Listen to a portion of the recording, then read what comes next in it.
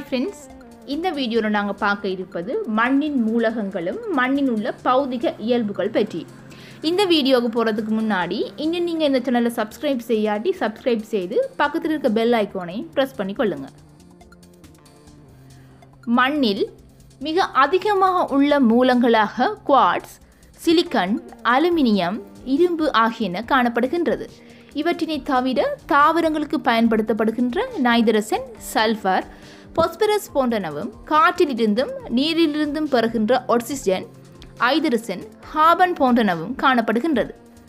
மழை அதிகமாக காணப்படுகின்ற பகுதிகளில் இருக்கின்ற மண்ணில் அமிலத்தன்மை கூடுதலாக காணப்படும். சுண்ணாம்பு குறைந்த மண்ணினை அமிலத்தன்மை கொண்ட மண் என அழைத்துக் கொள்வார்கள். இந்த மண்ணில் இருக்கின்ற மூலகங்கள் திண்ம பொருட்கள் திரவ பொருட்கள் வாயு பொருட்கள் என பாகுபடுத்தப்படுகின்றது. திண்ம பொருட்களாக மண்ணினுள் அசேதன பொருட்களும் சேதன பொருட்களும் காணப்படுகின்றது. களி மணல் மண்டி போன்றன மண்ணினுள்ள அசேதன பொருட்கள் ஆகும் மண்ணினுள் காணப்படுகின்ற தாவர விலங்குகள் போன்றன சேதன பொருட்களாக இருக்கின்றது. மண்புழு பூச்சிகள் பாக்டீரியாக்கள் என்பன மண்ணின் உயிரிகளாக திகழ்கின்றது.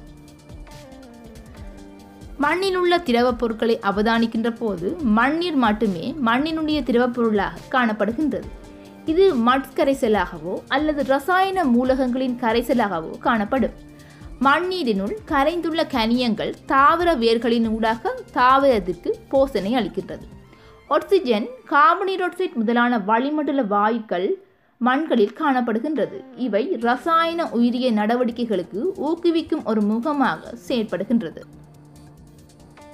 அடுத்ததாக மண்ணின் பௌதிக இயல்புகள் பற்றி அவதானிப்போம். அந்த வகையில் மண்ணில் இருக்கின்ற பௌதிக இயல்புகளாக மண்ணின் இழைவு மண்ணின் அமைப்பு மண்ணில் உள்ள நீரும் வழியும் மண்ணின் நிறம் போன்றன காணப்படுகின்றது. மண்ணின் இழைவு பற்றி அவதானிக்கின்ற போது மண் துகள்களின் பருமன்கள் பரம்பியிருக்கின்ற முறையினை மண்ணின் இழைவு என அழைத்துக் கொள்வார்கள்.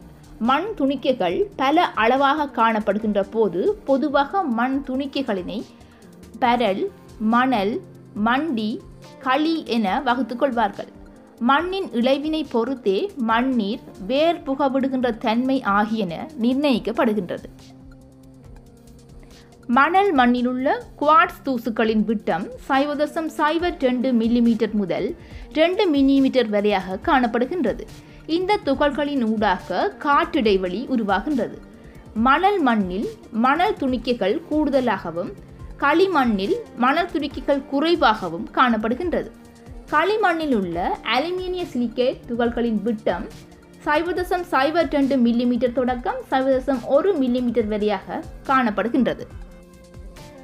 அடுத்ததாக மண்ணின் அமைப்பு பற்றி அவதானிப்போம். மண் மணியுருக்களின் சேர்க்கையாக காணப்படுகின்றது. அதனால் மண்ணின் அமைப்பானது தோற்றம் பெறுகின்றது. மண்ணினுள் நீர் உட்புக விடுகின்ற இயல்பு மண்ணின் அமைப்பில் முக்கியமான ஒரு பகுதியாக இருக்கின்றது. மண்ணினை பொறுத்தவரை பொதுவாக நீரினை உட்புகக்கூடிய துணிக்கைகளின் ஒழுங்குடையதாக இது காணப்படுகின்றது. அதனால் இந்த மண்ணானது காற்றூற்றப்படுகின்றது. அடுத்ததாக நாங்கள் பார்க்க இருப்பது மண்ணின் உள்ள நீரையும் வழியையும் பெற்று. தாவரங்களின் வளர்ச்சிக்கு இந்த நீரும் வழியும் முக்கியமான ஒன்றாக காணப்படுகின்றது. மண்ணில் உள்ள நீரானது வளிமண்டலத்திலிருந்து பெறப்படுகின்றது. மண்ணினுள் புகுகின்ற காற்றானது சிறிய அளவு நீராவியினை மண்ணுக்கு செலுத்துகின்றது. இவ்வாறு மண் பெறுகின்ற நீர் சுவரு என அழைக்கப்படுகின்றது. அதிக மழை காலங்களில் மண்ணில் உள்ள நீர்த்துளைகள் நீரினால் முற்றாக நிரப்பப்பட்டு விடும் வழியில் இருக்க வேண்டிய இடத்தில் நீரானது காணப்படும். இது மேலதிக நீர் என கூறப்படுகின்றது. மேலதிக நீரானது தரைக்குள் நீராக கீழே பொசியும். இதனை ஈர்ப்பு நீர் எனவும் அழைத்துக் கொள்வார்கள்.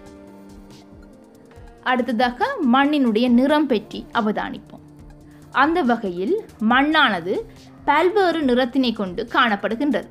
மண்ணின் நிறமானது அதன் பௌதிக ரசாயன நிலைமைகளினை சுட்டி காட்டுவதற்கு இன்றியமையாத ஒன்றாக இருக்கின்றது. மண்ணினுடைய வகைகள் பொதுவாக அவற்றின் நிறத்தினை கொண்டு வகுக்கப்பட்டு வருகின்றது. மண்கள் சாதாரணமாக சிவப்பு கபிலம் மஞ்சள் ஆகிய நிறங்களினை கொண்டு இருக்கின்றது. கனியங்களின் சேர்க்கை நிறத்தினை பெரிதும் நிர்ணயிக்கின்றது. இரும்பு ஒட்சைட் அல்லாத மண்கள் சாதாரண வெண்ணிறமாக காணப்படும். அதிக சேதன பொருட்களினை கொன்ற மண்கள் கருநிறமும் கடுங்கவில நிறத்தினையும் கொண்டிருக்கும். கடும் நிற மண்கள் வளமானதாகவும் லேசான மண்கள் நிறம் கொண்டதாகவும் காணப்படும். ஓகே ஃப்ரெண்ட்ஸ் இந்த மண்ணினுடைய மூலகங்கள் மற்றும் மண்ணுடைய பௌதிக இயல்புகள் உங்களுக்கு பயனுள்ளதாக அமைந்திருக்கும் என்று நான் நினைக்கின்றேன். மேலும் இந்த வீடியோ உங்களுக்கு பிடிச்சிருந்தா லைக் பண்ணுங்கள் கமெண்ட் பண்ணுங்கள் ஷேர் பண்ணுங்கள் மீண்டும் இன்னொரு வீடியோவில் நான் உங்களை சந்திக்கின்றேன். நன்றி.